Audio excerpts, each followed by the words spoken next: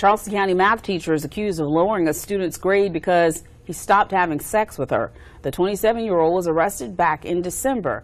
Now she's being sued by the student and his mother.